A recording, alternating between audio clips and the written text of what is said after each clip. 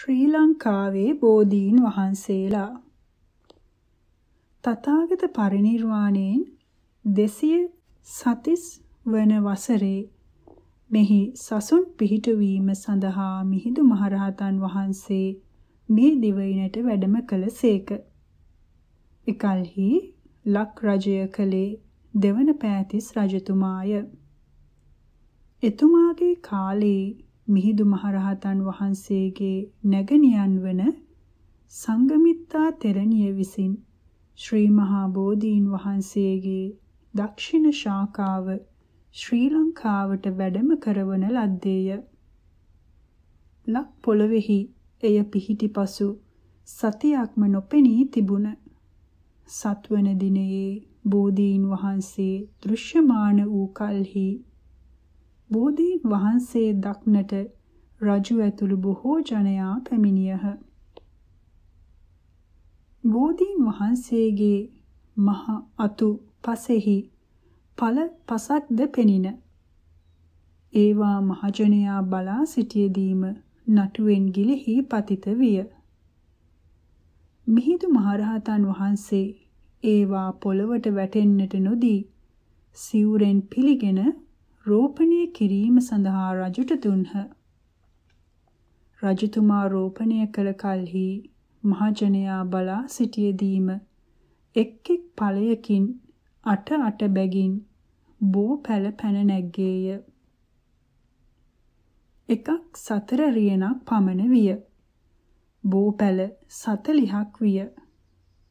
ඒවා මේ ශ්‍රී ලංකා ද්වීපයේ දඹුලු තොටය තූපාරාමය ප්‍රථමක චෛත්‍යස්ථානය රුහුණේ කතරගමය මල්වැස්සා වෙහෙරය මහා ජල්ලික නම් ගමය පොළොන්නරුවය රුහුණු රට මාගමය මහියංගනය බදුල්ලේ මුතියංගනය රුහුණු රට සිතුල් පව්වය වැලිගම් වෙහෙරය මැද්දේගමය පුසුල් පිටියය බෙලිගල්ලය වට්ටාරාමය රැස්සේරුවය ගිරිබා වෙහෙරය කසාගලය තිවක්ක බ්‍රාහ්මණ ග්‍රාමය සඳුන්ගිරි වෙහෙරය සෑගිරියය සඳුන්ගමය තන්ත්‍රී මලය කොට්ටියා රාමය මාතලේ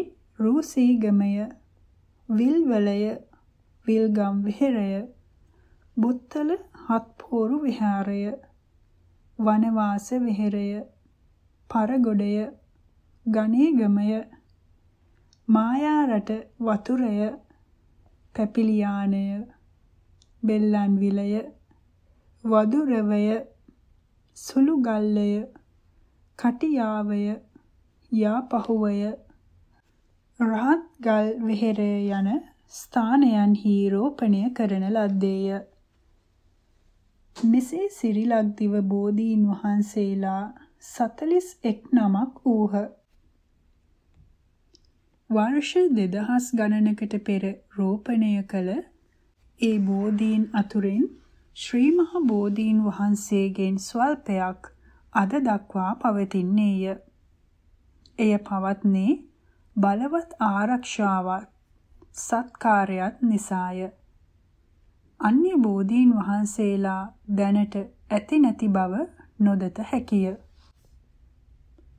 ඉහත කී ස්ථානවල දැනට ඇති බෝධීන් පසු කාලයේ රෝපණය කළ ඒවාද විය හැකිය. ශ්‍රී මහා බෝධි පරම්පරාවෙන් පැවතෙන සියලුම බෝධි වෘක්ෂ වැඳුම් පිදුම් කිරීමට සුදුසුය. ශ්‍රී මහා බෝධීන් වහන්සේ වැඩම වීමට කලින්ද මේ රටේ අසතු ගස් තිබෙන්නට ඇත. දැනට ඒ සියල්ලටම කියනුයේ බෝ ගස් කියාය.